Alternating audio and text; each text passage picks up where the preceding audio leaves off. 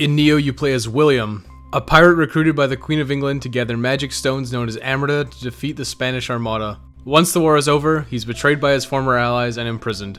During his escape from the Tower of London, William's guardian spirit, Saoirse, is stolen by the alchemist Edward Kelley. William travels to Japan to retrieve Saoirse, only to be caught up in the events of a civil war and the demon spawned from Amrita.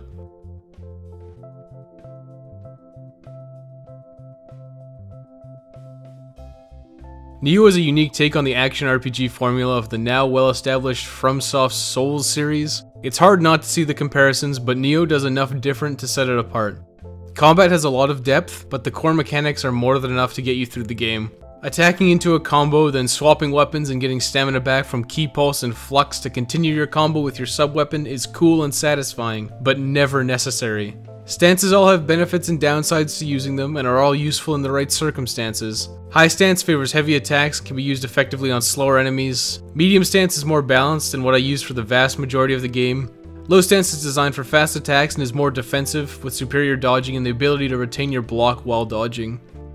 The core of Nioh's combat is based around positioning, knowing when and how to dodge various attacks, and knowing when to block or counterattack. Running while locked on is also a very useful thing as some attacks are simply easier to dodge by sprinting rather than trying to time a dodge. Many of the yokai enemies have weak points which can be exploited. You can cut demons' horns and then stun them to use a finishing move which does a lot of damage. Through the course of the game, you'll learn when and where to attack the various enemies to trigger a stagger. Some weapons and stances have easy ways to exploit these weaknesses, and figuring out what works against what enemy is satisfying. It's a strategy that rewards knowledge of the enemy's movesets, which will become very accustomed to since Nioh lacks enemy variety. Frequently, you're running into the same set of enemies over and over again. I was genuinely sick of giant skeleton with axe by the end of the second region, and they continued putting them everywhere all the way to the end of the game. As you progress through the later stages, you continue to encounter the same sets of enemies you've previously encountered in the first two regions, simply scaled up. The extreme lack of meaningful enemy variety can definitely hamper your enjoyment of the game. There are a decent array of enemy types, but you're frequently subjected to the same core few, which feels like a design oversight. The leveling system feels neglected. It seems like Team Ninja just included it because they felt they needed to because it's a staple of the genre. Benefits to your weapon scaling via stats are trivial while leveling up your core stats past 10. The soft caps kick in so early that it's almost as if they wanted you to level everything equally. Balanced builds appear to be more favorable, as you can effectively use any weapon you get from the randomized loot system as opposed to focusing on one or two types.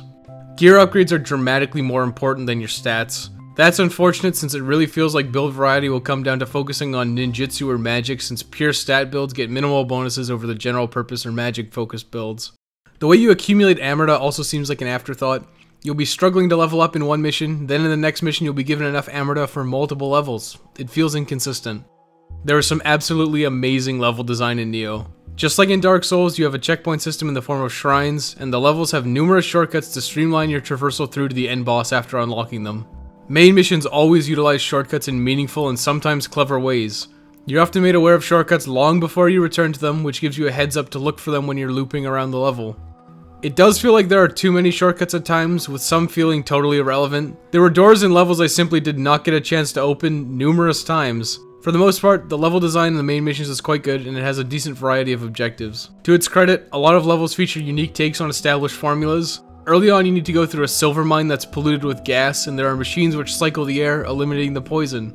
Other missions may require you to find hidden entrances in a ninja mansion or fulfill other criteria like destroying crystals. Despite most of the good level design, Nioh suffers from environments looking and feeling the same, the main mission levels are all unique, but sub-missions recycle environments frequently. In the beginning it's not so bad, as you start in a different part of the map than in the main mission with a different objective. Towards the end it starts to feel lazy since you're just doing a slightly different task in the same levels that you just did.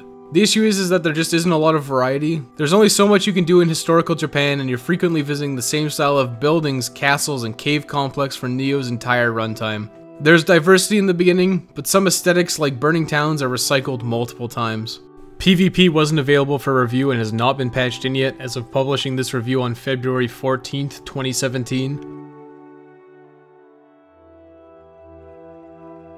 Graphically, it's quite impressive. Most of the environments are pretty dark, so it's hard to really appreciate them a lot of the time. The rain and snow effects stand out as some of the best I've ever seen. It's unfortunate that they aren't used more often.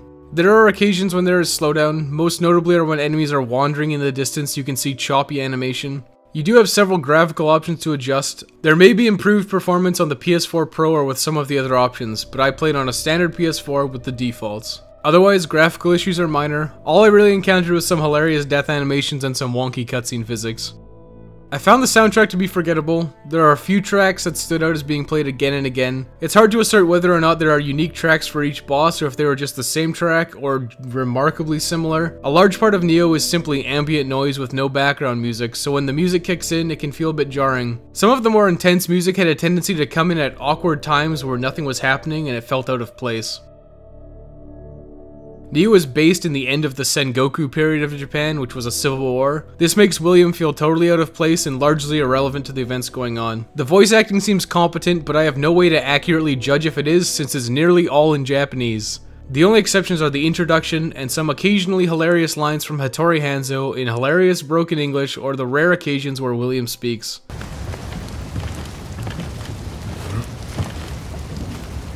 Who are you? A foreigner? Your skill against Oni is impressive. As is your skill with English. I don't mind since I always play with subtitles on regardless, but it's something the game forces on you and it's going to be annoying if you absolutely cannot stand reading subtitles. You can actually turn subtitles off and be totally out to lunch to everything going on in Nioh unless you're fluent in Japanese, which is an interesting choice.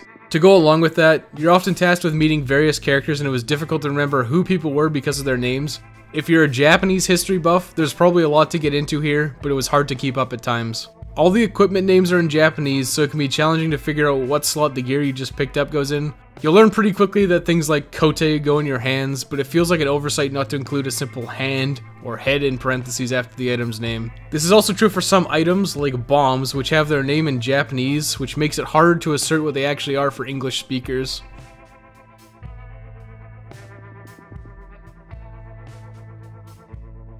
Nioh will chew you up and spit you out if you let it. You'll be forced to learn the fundamentals of combat early on, or you just won't make it. The difficulty feels front-loaded, with the first few bosses being what many would consider casual filters. You really need to get these bosses down, as they do appear as mini bosses later in the game. The later bosses do kind of lack variety and feel easier than the first set, outside of a handful of unique encounters. I found that most of the bosses after about the halfway point were much easier, probably due to adjusting to the game's systems. Nioh is punishing largely because you're liable to be killed in 2 or 3 hits. You have limited healing items, generally 3 unless you find elixir drops or donate items to the shrine to get elixirs. You have 3 heals, and you die in a few hits, so you have to get very close to perfect fights to actually come out on top. Hit tracking can be a big problem. Your dodges need to be timed correctly, because larger enemies and boss attacks do have a lot of tracking associated with it, this can lead to a lot of deaths that feel cheap since you dodged, but you still got hit because you dodged too early and the tracking caught up to you. Even some attacks that don't have extreme hit tracking often have hitboxes that are borderline. The most notable one in the beginning is Tachibana's charging draw attack, which will still hit you even though it looked like you dodged through it correctly. Then some bosses have hitboxes which frequently just pass over you. Some bosses also have instant or near instant attacks which feel like they can 100 to 0 you, which does feel cheap rather than hard. Often what's frustrating in Nioh is that the rules that apply to you often don't apply to enemies.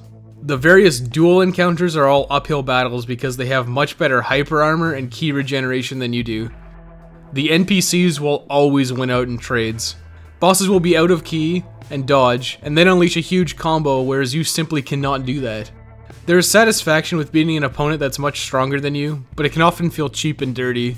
After numerous attempts, it can sometimes feel like you win by sheer dumb luck rather than besting your opponent. You can turn the tides in your favor with some various utility abilities though. You can gain additional utility tools by investing in ninjutsu or magic. Magic talismans, like sloth and weakness talismans, are absurdly powerful to the point where they trivialize some of the more difficult boss encounters. Higher level magic and ninjutsu are gated by stat requirements and story progression, but sloth talismans are available at the end of the first region for trivial investment. Sloth talismans are so potent that it's really hard to take them off your magic loadout.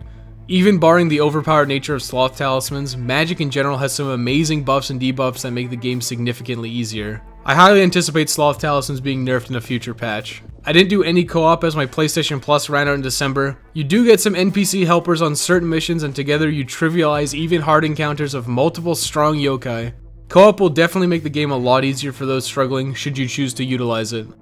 You're gonna die a lot in Nioh, don't get discouraged because the penalties are fairly minimal and there are a few items to get your Amrita back even if you die.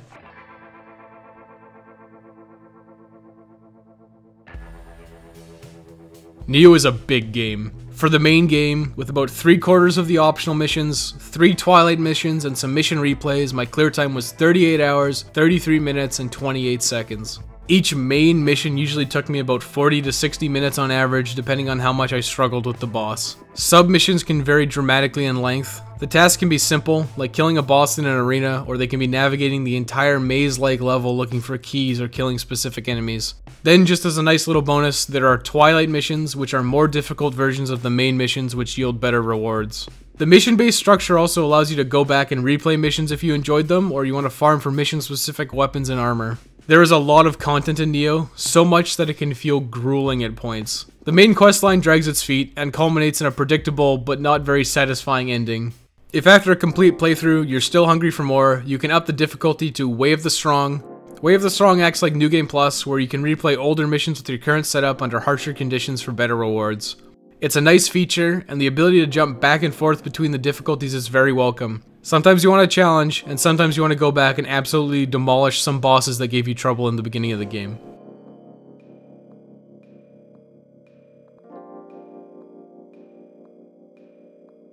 Nioh isn't going to be for everyone. If you're a casual player, you're going to want to avoid Nioh as its difficulty will be more frustrating than enjoyable. Nioh's combat has a high skill ceiling and moderate skill floor, which allow players to get as deep with it as they want to. The only real drawbacks are a severe lack of enemy variety. This may be remedied in future planned DLCs. There's a lot of content in Nioh, with multiple optional missions and difficulty settings. Harder missions and difficulties yield better rewards to incentivize players to complete them. PvP will be implemented in the future, further adding to the already large amount of content in Nioh. Unfortunately, a lot of this content is recycled and it can get a bit boring. The randomized loot system will be frustrating to some players as you have to farm missions or abuse the blacksmith to get superior equipment. Nioh does hand out enough gear that you're bound to find something that's useful to you, so you'll rarely feel too weak.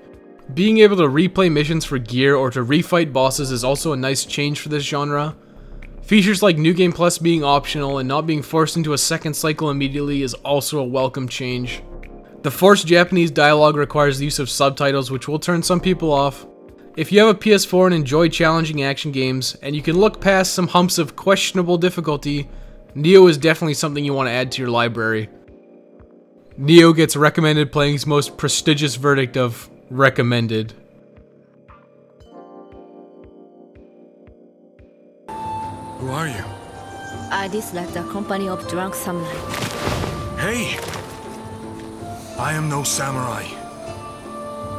So uh, a common drunk. Even worse.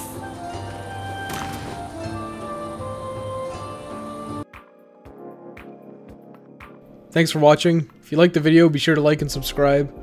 I'll be posting a Nioh Quick Start guide in the next couple of days. You can also check out recommendedplaying.com for more text-based content.